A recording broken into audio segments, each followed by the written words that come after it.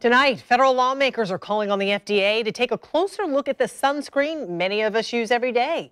Hawaii is taking this a step further, banning all sunscreens containing oxybenzone and octinoxate from being sold since the chemicals hurt coral reefs. Now, Florida could be next.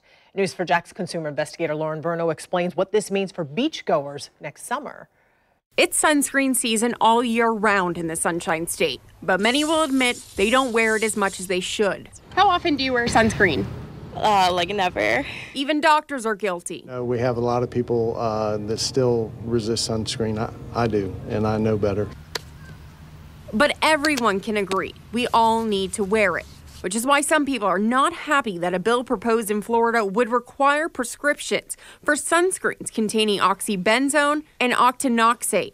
That's a little crazy. That's almost, you know, that's going to make almost uh, a lot of people not wear sunscreen, which is bad for your health. So we wanted to find out if these two ingredients would really make an impact when you go to check out. So let's go through some of the ones we have right here. How many of these do you think contain those ingredients? Well, across the board, it's usually about 80%. When we went sunscreen by sunscreen, that number was pretty spot on.